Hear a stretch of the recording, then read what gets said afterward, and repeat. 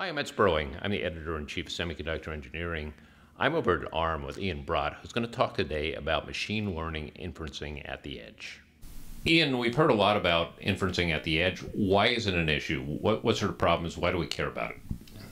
So inference at the at the edge is uh, emerging as a very important workload, um, and this is because neural networks uh, happen to have this universal applicability and this kind of general ability to solve many many different problems. And so what we're seeing is we're seeing machine learning inference kind of creep into many different problems that kind of cross the entire space of the ARM ecosystem. What do you have to think about when you're designing a chip or an architecture with for inferencing at the edge? You obviously have to deal with power, you have to deal with uh, speed, but what else is there? Yeah. So in, uh, ML inference is, is a very interesting workload. It has a few properties um, that are really worth uh, looking at when you're trying to de design IP to accelerate uh, inference at the edge. So inference at the edge requires a, a, an enormous amount of compute, a large amount of just arithmetic operations, um, coupled with uh, a tremendous amount of data movement. Now, in some cases, uh, inference on the edge will work just fine on kind of classic IP like uh, CPUs or GPUs uh, enabled with the right software, and that's something that, that uh, we've been doing. But if you really want that best kind of performance for machine learning on the edge, you need to, you need to start thinking, kind of rethinking the way you design IP and, and coming up with new types of processors. Why don't you draw this out for us? Okay. What are we looking at here? Yeah, so um, like I mentioned before, uh, machine learning inference is a very important workload on the edge, and we are evolving all of our IP to basically adapt and be improved for machine learning inference. And we're enabling the software, we're adding the enabling software to do that. So this includes CPU, GPU, and new types of IP like our machine learning processor, the NPU. So what an NPU is is a specific piece of IP designed from the ground up for machine learning. So if you really want that best possible performance per watt or performance per square millimeter, you have to start with a piece of IP designed from the ground up. And what's different about it? Is it the uh, throughput? Is it the processing speed? Yeah, it's a, it's a few different things. So I think if you uh, the the thing to look at with a machine learning processor or an NPU is that you really try to um, you need to optimize for uh, three different things. So one is data movement. So when running machine learning inference, you're moving an, an enormous amount of data around. Um, so optimizing that data that data movement uh, yields some very large gains. You need to think about uh, compression. Again, that's tied to that data movement argument. Um, and then you need to think about how you accelerate the types of operations seen in machine learning inference, like uh, convolutions and uh, the non-convolution operators. So, where do things typically go wrong when you're working with these kinds of architectures? It's very easy, and it's a lot of people looked at machine learning processors kind of in the early days, and they said, "Well, I can just put down a whole bunch of ALUs, and I'm going to get good performance." But actually, um, that's kind of the easy part. So the the difficult part is, you know, putting down uh, all of those ALUs and finding a way to keep them busy so that, that you actually unlock the potential of those ALUs that you've spent silicon on. And that's where kind of thinking about the full design, the software, the hardware, the data movement, that's where all of that matters. You're pretty much creating what's the equivalent of a massively parallel type of system on a chip, right? Uh, yeah, I would say that's right. And as you do that, one of the problems with mass par, mass par has always been that when you you can split things up and you can parse it into individual processors and you can make it all work together very fast but you also have to bring it together at the end too.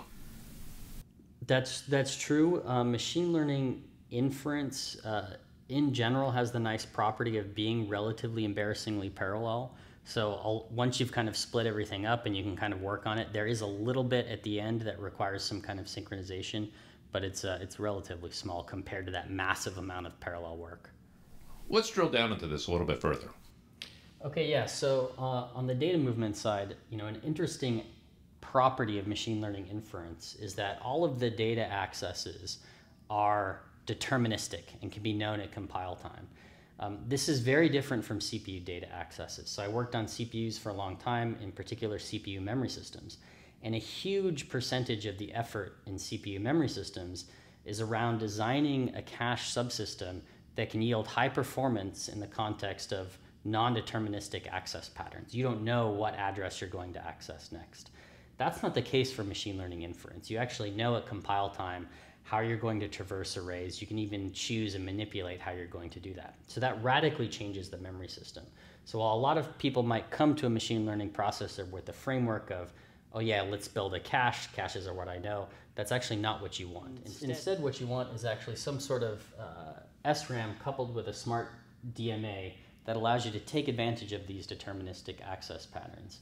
So the way a memory system might work inside a machine learning processor or an NPU is actually all of the accesses, the memory access patterns are, are created by the compiler. And the DMA then just might read a command stream that brings data in, processes it, and then sends it out. This is very different from how a CPU cache works. Another thing that happens in machine learning is the algorithms change on an almost weekly basis, if not a daily basis. How do you keep up with that? Yeah, so, so that's a good uh, that's a good question. Um, in particular, in the ML inference uh, domain, which is um, you know where we're focused, uh, there is a lot of uh, constant around convolutions and kind of the arithmetic heavy operations, but you do see some churn in the non-convolution operators. Those are kind of you're seeing new operators invented. They yield slightly better accuracy, and you need to have a plan for those. That's actually um, this third bullet here. So you need to have some sort of acceleration for convolutions and other operators. So a, an, a good NPU architecture should have some sort of flexibility and programmability that allow you to add support for new operators as they come along and they're invented by the research community. Compression is one piece of this. How does that fit into this? Yeah, so this is particularly interesting. So I talked about kind of the deterministic uh, data movement. Uh, something that's also interesting about machine learning inference workloads is the type of dynamic data patterns that you see in the weights. So the weights are the neural network models and the activations. So the activations are kind of the one is the input image and then the results of the uh, processing that image through multiple layers of the neural network. Uh, so within ARM, uh, we have a very successful GPU line, the Mali GPU line, and we have a lot of experience around uh, compression technologies because compression technologies are very common uh, in the GPU space.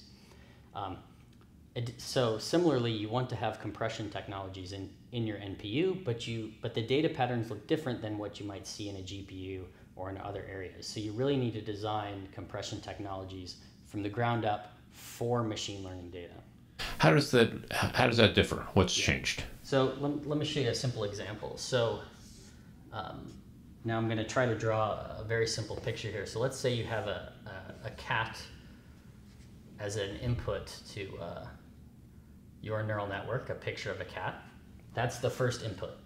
And as this, as this image goes through the network, it, it changes because it's going through multiple different nonlinear filters. And the, the, at first, it might look like just a high pass filtered version of the cat. But as you go along through the network, you're going to see sharp edges, you're going to see extracted features, you're going to see very different types of images. So, from a compression technology perspective, you want a technology that one can both compress that original version of the cat, but also compress what you see maybe in the middle of the neural network, which might just be, you know, sharp lines or a circle or things like that. So you really need to take into account the life of the activation throughout the neural network when designing your activation compression technology. How much overhead is there in terms of compression decompression? Yeah, so a, a lot of this can be done relatively simply in hardware, so the, the cost in hardware is very small. And the gains are tremendous because you can use uh, as much as half of your energy just sending data back and forth to DRAM. And if you can cut that, you know, by a half or by two thirds, you're saving a huge amount of energy. So your trade-offs are compression versus uh, running things without being, being compressed. Also I/O if you are running um, compressed versus uh, non-compressed, and also in terms of power, uh, how much does it take to do one versus the other, and speed as well, right? Yeah, so there's a lot of different a lot of different trade-offs here. So you know, adding the compression, you want to do it in a way that doesn't hurt performance. You want to do it in an area efficient way that doesn't cost a lot of power. And the gains you're seeing there is one, you're going to save a huge amount of energy on the uh, external interfaces going to memory, and you're going to go faster actually in the cases where you're limited by your memory bandwidth. Because there are so many applications and, machine learning is being applied to almost everything these days, um, does it does one architecture work across all of them, or do you need to make changes in each one? That's an that's an interesting question. Um, I think it's it's kind of early days, so it's hard to have a uh, a really conclusive response to that. But one of the nice things about machine learning is that um, fundamentally underneath, you're just seeing these neural networks built out of the same components, and then that's being applied to different problems. So the main difference you see across problems is not the computation, but rather just the throughput requirements. So the throughput requirements for a self-driving car machine learning are going to be way higher than doing some uh, simple speech recognition in your smart speaker.